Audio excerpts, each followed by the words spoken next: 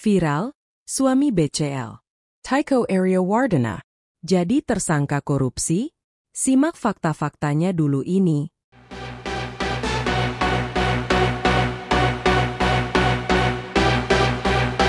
Hello Sobat Orang.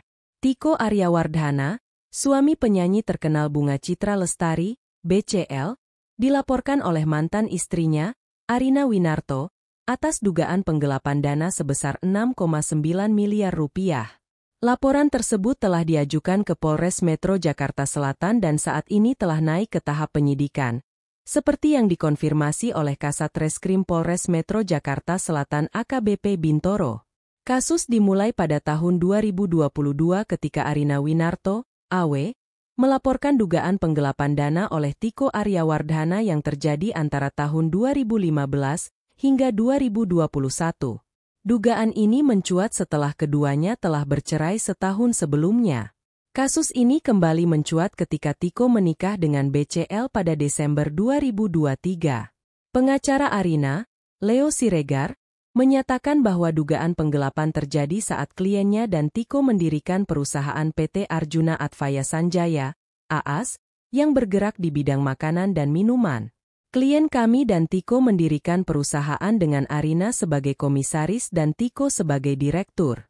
Seluruh modal perusahaan berasal dari klien kami, kata Leo Siregar dalam siaran pers pada Selasa, 4 Juni 2024.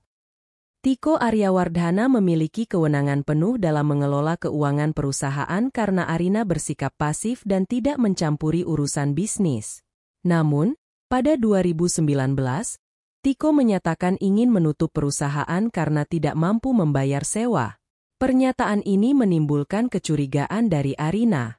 Kecurigaan semakin menguat ketika pada 2021 Arina menemukan dua dokumen laporan laba rugi, PNDL, yang mencurigakan, lanjut Leo Siregar.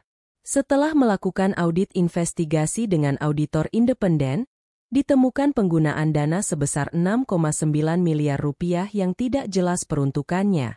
Karena tidak ada iktikat baik dari Tiko untuk memberikan klarifikasi, Arina akhirnya melaporkan kejadian ini ke polisi. Kasat Reskrim AKBP Bintoro menegaskan bahwa kasus ini sedang dalam proses penyidikan. Ia, Benar, suami BCL dilaporkan. Saat ini masih dalam proses dan sudah naik ke tahapan penyidikan. Katanya, Tiko Aryawardhana, yang bernama asli Tiko Pradipta Aryawardhana, merupakan lulusan Universitas Trisakti jurusan ekonomi dan meniti karir di industri perbankan. Sebelum menikah dengan BCL, Tiko jarang terlihat di media sosial. Namun, setelah menikah, Keduanya sering membagikan momen kebersamaan di akun Instagram masing-masing.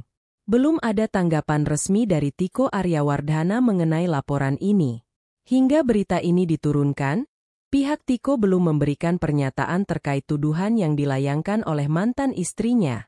Kasus ini menarik perhatian publik karena melibatkan nama besar BCL dan dugaan penggelapan dana dalam jumlah besar. Banyak netizen yang memberikan dukungan moral kepada BCL dan berharap masalah ini segera terselesaikan. Kesimpulan, kasus dugaan penggelapan dana sebesar 6,9 miliar rupiah oleh Tiko Aryawardhana, suami BCL, yang dilaporkan oleh mantan istrinya, Arina Winarto, saat ini sedang dalam tahap penyidikan. Kasus ini bermula dari pengelolaan keuangan perusahaan yang didirikan bersama antara tahun 2015 hingga 2021. Publik menantikan perkembangan lebih lanjut dari kasus ini dan berharap ada kejelasan serta penyelesaian yang adil bagi semua pihak yang terlibat. Baiklah, tetap dukung kami dengan cara like, komen, share dan subscribe.